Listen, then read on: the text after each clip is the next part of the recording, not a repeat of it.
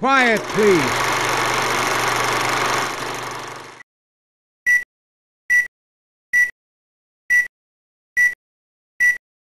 Action! Hello, everyone. My name is Andrew Bermudez. I was the director of the film Pharaoh's Quest The Curse of Amset Ra, and today I wanted to take a look behind the scenes at this big film and take a look at all the different sets from the film, share some behind the scenes anecdotes, and take a look at some of the practical effects and how they were done. Now, strangely enough, the place where we're going to start is actually at the very end of the movie, specifically the ending that takes place in 2020, where Hiram Aziz gets terrorized by a reawakened Amset Ra who then goes back to sleep. The reason why I'm starting here is because, interestingly enough, this scene was not shot for this movie originally. It was originally shot for Johnny Thunder and the Wisdom of the Ancients when the ending had a completely different outcome to it. But when that got chopped out, uh, this scene was cut out, but by then it had already been filmed. So when it came time to write Pharaoh's Quest, The Curse of Amset Ra, uh, this scene was seen as a good ending to the film that could then tie into what happens later on down the line. So it was only a matter of just repurposing the original footage, upgrading it to meet standards of the rest of the film. Just a couple of years later, when principal photography on Pharaoh's Quest The Curse of Amset Ra officially began, the first set that was utilized was actually one that appears closer to the middle of the Cursed Cobra statue. The reason why that I started here was because the set is very low key. Uh, it doesn't have much outside of the main set itself, and because of everything in the film, this is something that's fairly closely adapted from how it appeared in the original storyline of the LEGO sets, especially in how the Cursed Cobra statue was defeated, so it made it easier to film as opposed to the later sets in the film. So this set here is the Catacombs Underneath Beersheba set, where the golden crystal is located as well as the giant scarab statue. The reason why I chose to film this second was because, again, it's a smaller set, not heavily involved, but it also had to be separated from the main Beersheba set simply to make filming easier and to make it easier to animate within the catacombs as well. One of the features that I like here is way that I integrated the water features to not only show where the water in that well comes from, but also to give like an ancient feel to these catacombs. Now, here's a set that in practice ended up being a lot bigger than I originally anticipated. This is the set for Archibald Hale's camp as well as his big tent where he has all of his scientific equipment, all of his research equipment, where he takes his notes and takes care of his studies.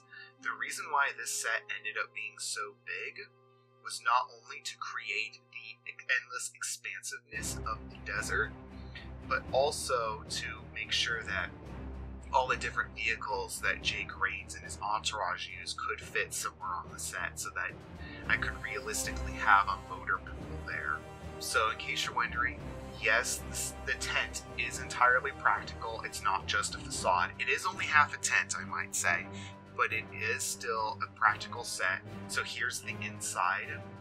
Uh, everything I designed on the tent was to make it look as temporary and kind of ramshackle as possible.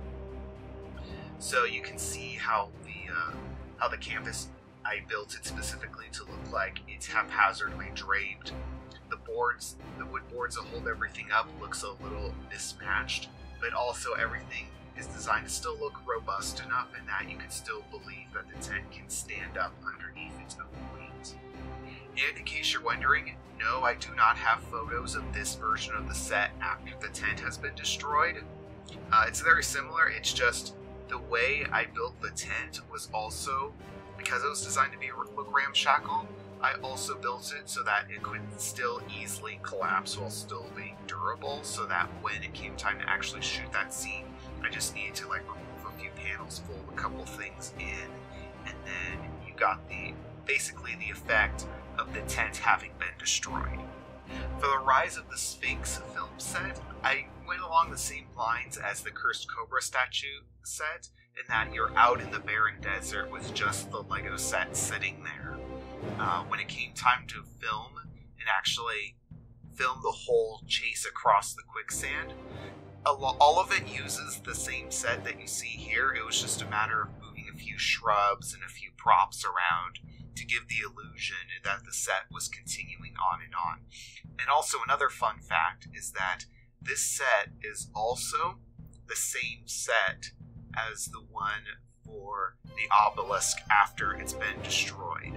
It was literally a matter of just removing the Sphinx and replacing it with the destroyed obelisk, and again, just moving those plants and shrubs around.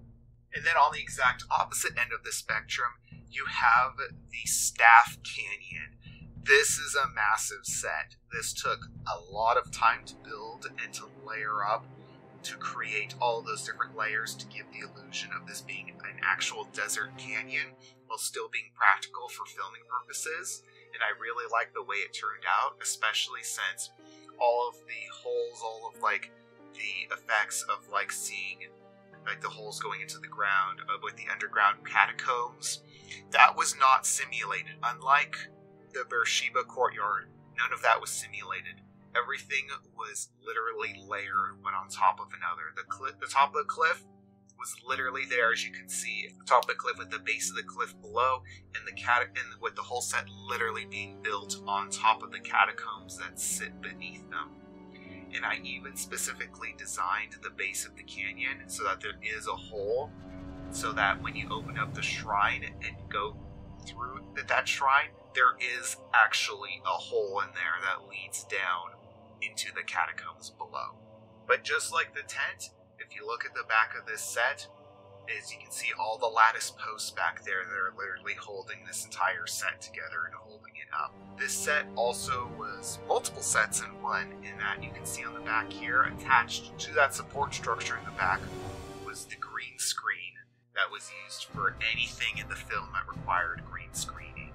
On a similar note, here is the Ancient Egypt set, specifically the Ancient Egyptian farm, uh, everything about this is as historically accurate as possible.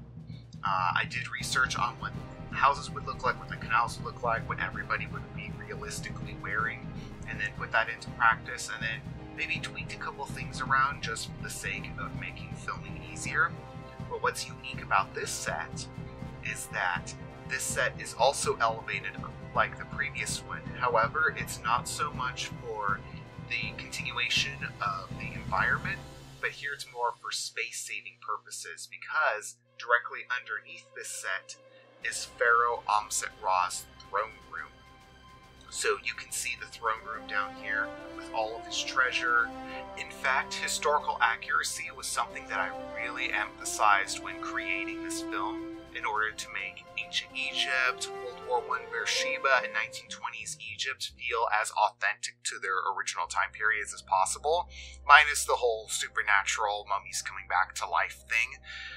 I don't have any pictures of the Barrel Bar or Beersheba courtyard sets, but along those same lines, both of those were designed to be as accurate to their original locations as possible. And also, fun fact during the development of this film, another film titled The Bartender's Tale was filmed as a 24 hour animation contest entry and it was filmed using the same barrel Bar set. It ultimately was not finished in time for the competition, but it was eventually released uh, retroactively, I should say, on May 3rd, 2024, as part of the 20 Years Young celebration. And that brings us to the final set. This absolutely massive three movie spanning final set that is Amset Ra's Scorpion Pyramid. So this set's interesting in that it has technically has a practical interior, but it's built out from the back of the Scorpion Pyramid, like you can see in this photo here. Uh, you can see elements here that are related both to Pharaoh's Quest, The Curse of Amset Ra, and a future in the past. Patrick the movie also filmed using this exact same set, even though there's nothing related to that film specifically in any of these photos. As for the reason why I would shoot three films simultaneously, the main purpose for that was to maintain continuity between different films. I had to film all of those things happening simultaneously while making sure everything was staged properly. There might be a few hints that were thrown around in between these different films, connecting them all together. But I still wanted to make sure that everything that you see in each of these films is specifically for that film. And to finish off, here's taking a closer look at that burial chamber part of the set. So, when I was designing this part of the set, I knew I wanted to mix in some science fiction elements in order to help sell the reveal that Amset Ra's magic is literally just alien technology. But I also still wanted to make it still clear that we're still inside of an ancient Egyptian tomb. Primarily the machine, but also a few additional things within the burial chamber as well to sell that idea that things are a little bit different in this room. So overall, it was a really great experience making this film. Not only did I get to experiment with new ways to pull off different effects, but I also got to play around a little bit with being in a different time period, having everything more explicitly supernatural compared to the Johnny Thunder saga, and also having this completely different set of characters. At that time, archaeology was different how would people back then react to like those these supernatural occurrences in a time where archaeology was less about learning about history and more about fame and glory? So it was a lot of like deconstructing and playing around with those character archetypes. Also tying everything into historical events like world war one and specifically the battle of beersheba uh, it was definitely a big departure from the Johnny Thunder saga simply because it's set in the past, whereas the Johnny Thunder saga is present day. So that also created a nice contrast. And that concludes this behind the scenes featurette. Thank you for watching, and I'll see you again soon. Nice one.